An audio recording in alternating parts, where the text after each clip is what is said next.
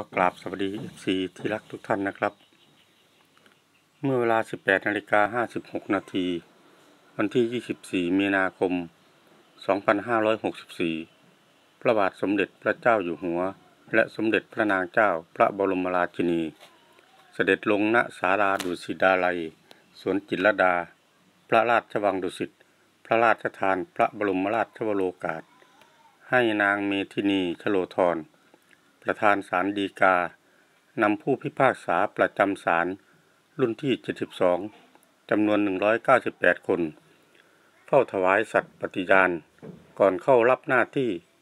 โอกาสนี้ นายพงเดชวานิชกิติกุล เลขาธิการสำนักงานศาลยุติธรรม นางกรกัญญาสุวรรณพาณิช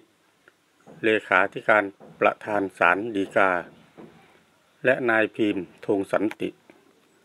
เลขาธิการสถาบันพัฒนา ข้าราชการฝ่าย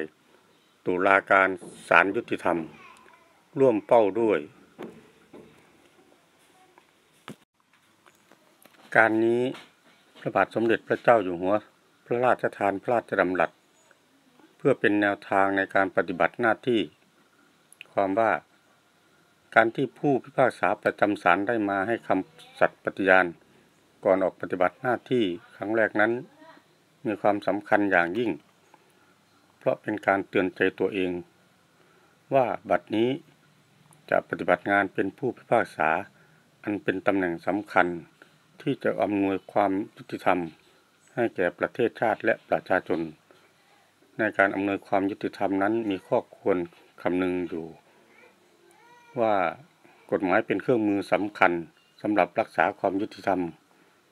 ก็จริง แต่เมื่อจะนำมาใช้ต้องอาศัยดุลยพินิษที่ถูกต้องด้วย ผู้พิพากษาจึงต้องใช้ดุลยพินิษอย่างรอบคอบและรอบด้าน